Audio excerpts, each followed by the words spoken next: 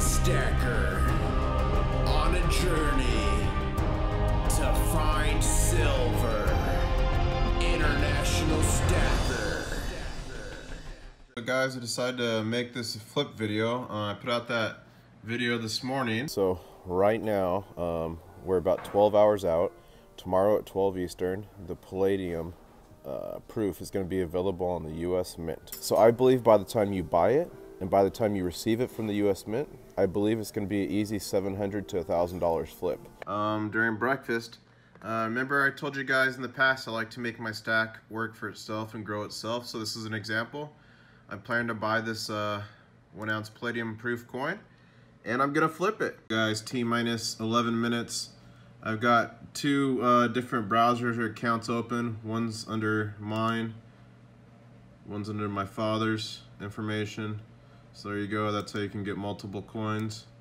Here we go, seven. Well, seven for me, 12 there. Here we go. Add to bag.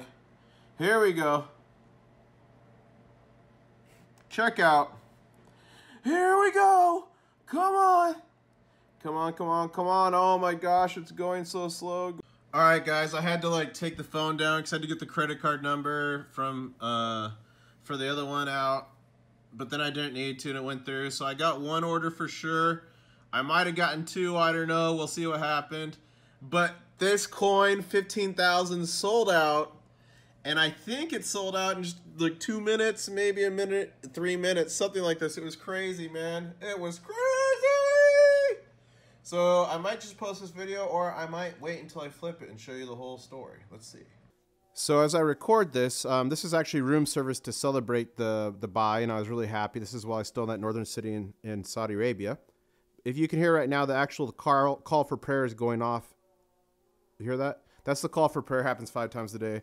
But anyway, so yeah, the sale went, uh, the flip went really well. I ended up selling each one for about 2,400 give or take. Um, once you subtract so it's a $2,000 profit, then minus 15% for PayPal, eBay fees. That's really what I took home. And I put it all, flipped it all on gold and silver. It was an amazing flip. This right here is a shot, by the way, of the airport up there. It's old. Looks like it's from the 70s and 80s.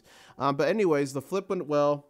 Uh, the good thing is, is I sent it certified mail. Whenever you're doing a coin like this, always ship it certified mail. It cost me about 30 bucks for each coin.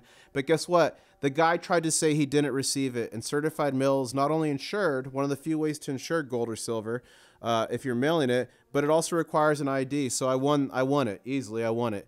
I probably would have won it the other way too, but that's a lesson for you. Always send certified mail if it's an expensive uh, coin because a lot of these normal shipping ways don't cover it. Um, so anyways, yeah, guys, it was a great flip. Originally, I wanted to get one of them graded, um, but I had my dad and sister look at it. I said, if anything doesn't look, if it doesn't look perfect, it's not worth it. And they said, uh, I think it's perfect, but they're not sure. So I said, it's not worth it. So we insta sold them. So that was about what 10 days to get it and like a few days on eBay. So you're looking at about two weeks. And I flipped about 2000 bucks minus 15% uh, for all the fees, and I put it into more gold and silver, which was amazing. That area you just saw there was the prayer area in the airport, which is quite unique for Saudi Arabia. Um, only Saudi Arabia has these type areas. This is a new uh, airport in Riyadh, so you can see how much newer the construction is looking. Coming up here, I'm going to show you two clips. The first clip is the call, not the call for prayer, but it's the travel prayer. They play it on every airplane that takes off in Saudi Arabia. It's quite unique.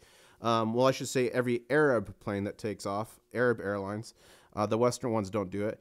Uh, also, too, on the Arab airlines, specifically Saudi Airlines, they censor the movies. So I was actually on this plane watching the movie for The Greatest Showman, and a lot of the girls in the circus, they actually blur it out.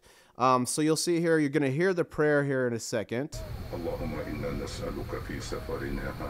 So that's what it looks and sounds like when you're taking off. Now check this out. You might have to pause it. It's quick. See the blur?